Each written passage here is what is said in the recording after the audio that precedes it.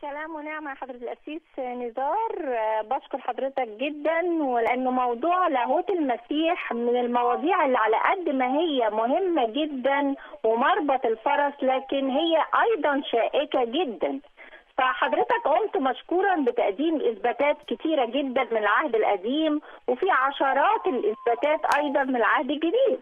لكن كلنا نعرف إنه لا يستطيع أحد أن يقول أن المسيح رب إلا بالروح القدس. بمعنى ما فيش حد يقدر يعترف إنه الله هو الظاهر في الجسد يسوع المسيح ف يعني لازم مساعدة الروح القدس. فسواء إخواتنا المسلمين أو إخواتنا شهود يهوه آه، لو قعدنا معاهم من النهارده للسنة الجاية بإثباتات سواء من الكتاب المقدس أو من القرآن مش هتتفتح عيونهم وبصائرهم إلا بمساعدة الروح القدس. علشان كده من اختباري من خلال مناقشاتي معاهم بحس جدا لأهمية الحصول على الروح القدس لأن كلنا نعرف إن الروح القدس مش للمسيحيين فقط لكن هو عطية لأي شخص بيقبله. فالسؤال اللي بيفرض نفسه إزاي أنا أحصل على هذه العطية؟ فلو تقدر حضرتك تجاوب أو تحضر له حلقة خاصة لأهميته القصوى. والرب يبارك. ربنا يباركك أخت نهال. آه، بشكرك كثير لأنه فعلا هو مكتوب من اراد الإبن أن يعلن له. وإذا بنتذكر بطرس في قيصرية فيلبس لما سأل الناس من يقول الناس إني أنا ابن الإنسان.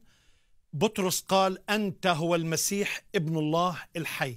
أجاب يسوع وقال له طوبى لك يا سمعان إن لحما ودما لم يعلن لك لكن أبي الذي في السماوات فاذا هو إعلان الآب هو إعلان الابن. إن أراد الابن أن يعلن له في متى إصحاح 11 وهو إعلان آه، الروح القدس.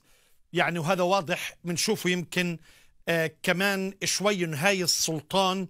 هو سلطان فائق ليسوع المسيح. طبعا إحنا يمكن لابد إنه نحكي في حلقة بالمستقبل عن لاهوت الروح القدس. لكن اليوم تركيزنا هو كله على ألوهية المسيح من العهد القديم. وأنا اخترت بس النبوات اللي يعني تنبأت عن اللاهوت. لكن حنشوف صفات وأسماء اللي هي برضو قيلت عن يسوع إن شاء الله بحاول إنه في الحلقة ال- القادمة.